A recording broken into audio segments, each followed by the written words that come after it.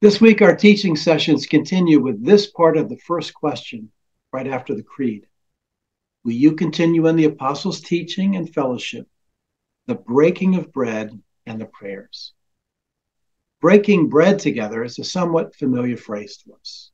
We might say, Old friends came over and we broke bread together. It was a great night. But in the context of the New Testament, our church tradition, and Christian discipleship, the breaking of bread has a deeper meaning and one that connects us into the holy mystery of God. The specific phrase, the breaking of bread, appears only two times in the New Testament. In both instances, what at first seems to be as simple as people sharing a meal together goes beyond just a friendly meal and becomes a way that God speaks and makes his presence known in profound ways.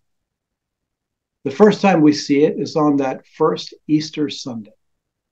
Two disciples, dejected, heartbroken, whose hopes in what they thought God was doing through Jesus are now lost, are walking back toward their homes in Emmaus. They are joined together by another traveler, a third person who they don't recognize at first. He asks them why they're so sad and forlorn. One of them, Cleopas, answers him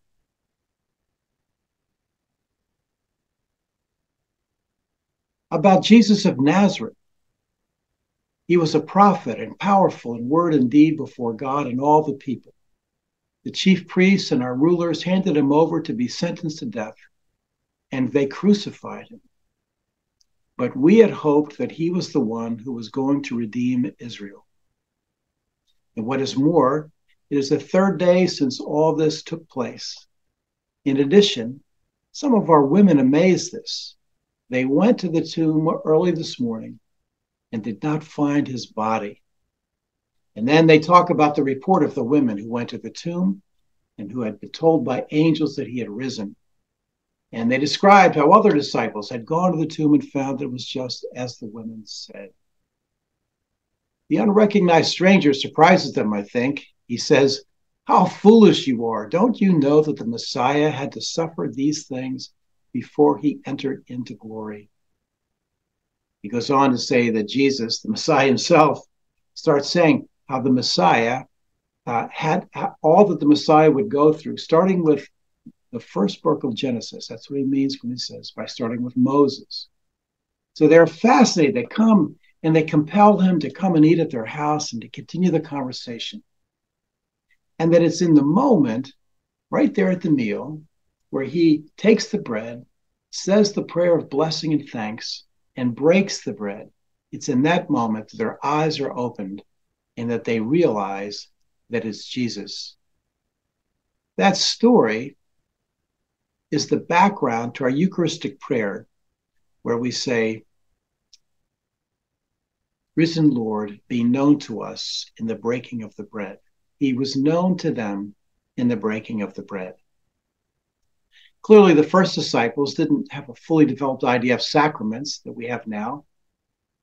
Uh, but in the earliest years of the church, we came to see that the breaking of bread was the centerpiece of worship in the very beginning. Uh, there are only two sacramental acts that Jesus commanded his followers to keep. One is baptism, and the other is the breaking of the bread. The Apostle Paul wrote in his first letters to the Christians in Corinth For I received from the Lord what I also passed on to you. The Lord Jesus, on the night he was betrayed, took bread, and when he had given thanks, he broke it and said, This is my body, which is for you.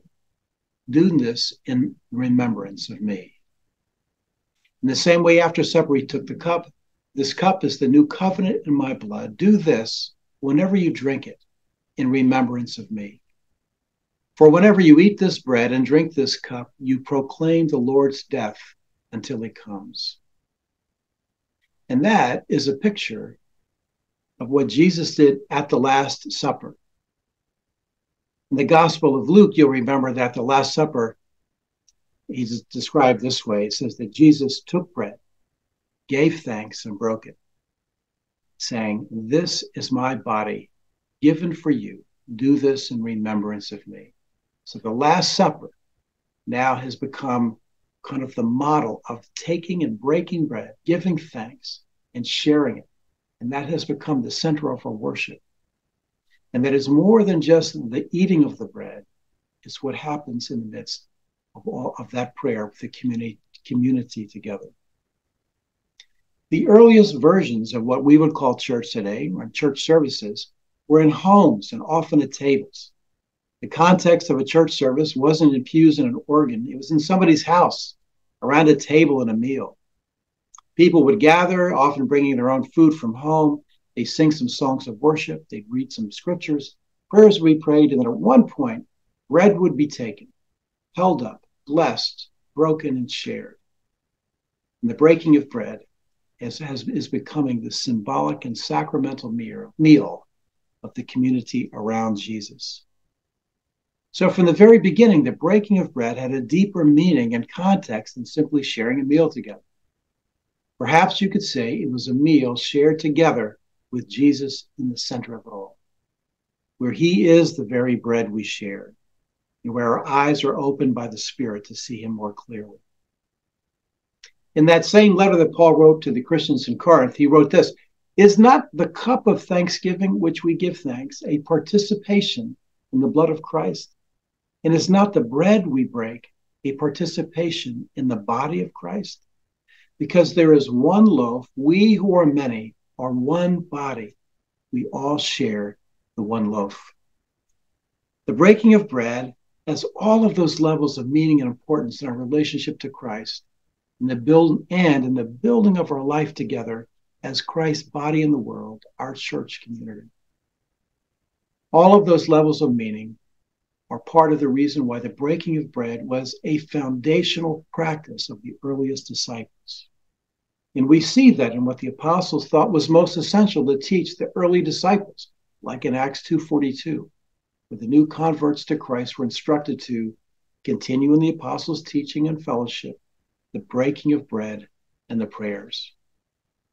Here's another reason why the regular practice of the breaking of bread is so important. When we become followers of Christ, we are not individuals now rescued and sanctified, and they're going to return to our regularly scheduled lives with our new belief me and Jesus, me and God. There is nothing in any of the scriptures to suggest that we are meant to live outside of a real connection to a body, the community of disciples whose life centers around our worship of Jesus. We become a body, we're interconnected. And as Paul said, we share in one bread. We are one loaf. We join together around Jesus. And in doing so, we take bread, we give thanks, we break it and share it. And in that act, Jesus is revealed, and we're the body of Christ. The concept of the breaking bread is deeply rooted in the Old Testament as well. Isaiah 25, we have the picture of the time when heaven and earth are joined together and God is present here among us. It's a dinner banquet with the best foods where everyone's included. And in that picture, God is at table with us. In our Anglican and Episcopal tradition, the symbol of worship, that furniture piece uh, that we worship around, has two names. One is we call it the altar because there we remember the sacrifice that Christ Christ has made for us, a sacrifice but it's also called the table because there we gather with God, who's present at that meal to be with us. It's the picture of Isaiah 25 God and us at the table together, Jesus and the disciples at the last meal together, in the breaking of bread together, in the breaking of bread where Christ is revealed in a profound, somewhat mysterious way that we call sacraments. And so the breaking of bread is basic to our understanding of who we are as Christians, who we are as part of the body of Christ, and God with us, and the way that Jesus reveals himself. He was revealed to us in the breaking of the bread. So the breaking of bread isn't just something simple like, hey, let's get together. We'll go over to uh, you know the restaurant and we'll have a pizza. Let's break bread together. that's a great part. That's some some part of fellowship, like we talked about last week. But the breaking of bread includes that mystery, and a mystery meaning like something that only God can reveal.